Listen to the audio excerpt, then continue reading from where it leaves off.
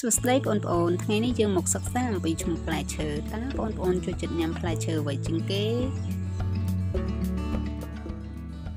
ផ្លែក្រូចផ្លែក្រូចផ្លែរកាំផ្លែរកាំផ្លែលម៉ើផ្លែលម៉ើផ្លែភ្ញៀវផ្លែភ្ញៀវ ផ្លែច័ន្ទផ្លែច័ន្ទ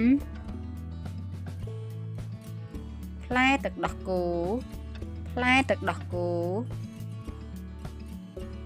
ផ្លែកន្ទួតព្រៃផ្លែកន្ទួតព្រៃផ្លែឡុងកុង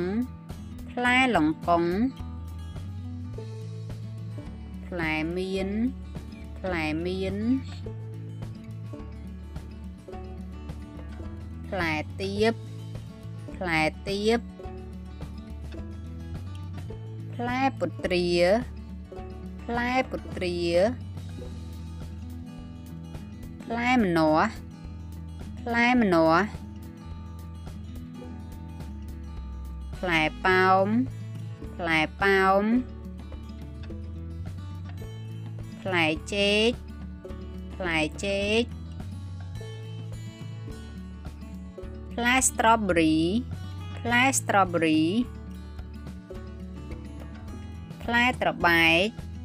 ផ្លែត្របែកផ្លែខ្នុរផ្លែខ្នុរផ្លែទំពាំងបាយជូរផ្លែទំពាំងបាយជូរផ្លែចម្ពូផ្លែចម្ពូ ផ្លែគូលែនផ្លែគូលែនផ្លែស្ពឺផ្លែស្ពឺផ្លែស្វាយចន្ទីផ្លែស្វាយចន្ទីផ្លែតទឹមផ្លែតទឹមផ្លែទុរេនផ្លែទុរេន ផ្លែដូងផ្លែដូងផ្លែមង្ឃុតផ្លែមង្ឃុតផ្លែល្មុតផ្លែល្មុតផ្លែស្វាយផ្លែស្វាយ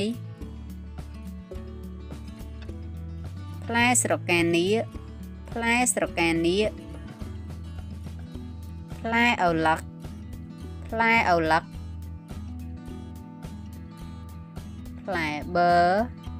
ផ្លែបឺផ្លែសាវម៉ាវផ្លែសាវម៉ាវផ្លែទៀបបារាំង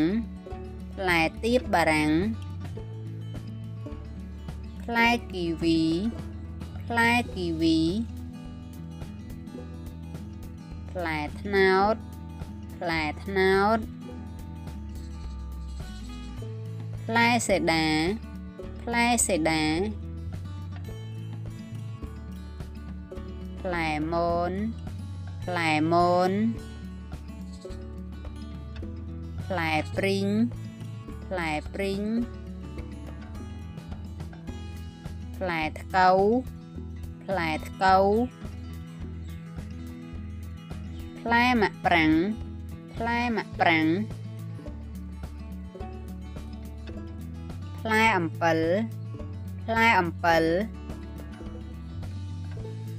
ផ្លែត្រសក់ផ្អែមផ្លែត្រសក់ផ្អែមផ្លែសេមាន់ផ្លែសេមាន់ផ្លែសាកេផ្លែសាកេ